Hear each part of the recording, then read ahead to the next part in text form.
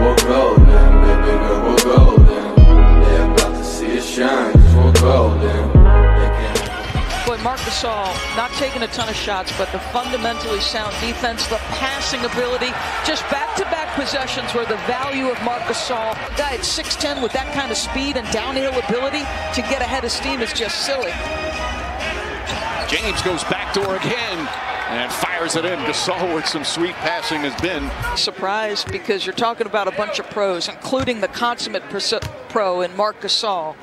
I mean, listen, just square up, point of attack,